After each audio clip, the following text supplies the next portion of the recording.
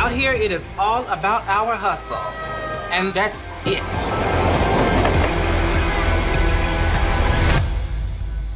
Caitlyn Jenner hosted a, a screening of this movie. Where, did you get the chance to meet her at all? Yeah, I talk to her every week.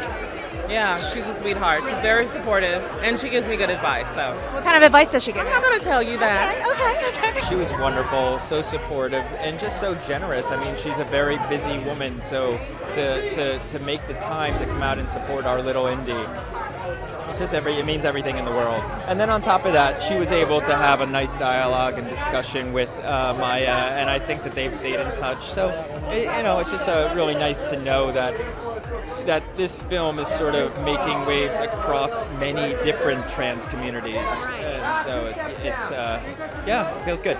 She was incredibly gracious and, you know, used her entire platform to support uh, Mya Taylor, and, and we were at the time running an Oscars campaign for, for our actresses, which at the, fir- at the time was the first um, transgender campaign that's ever been run.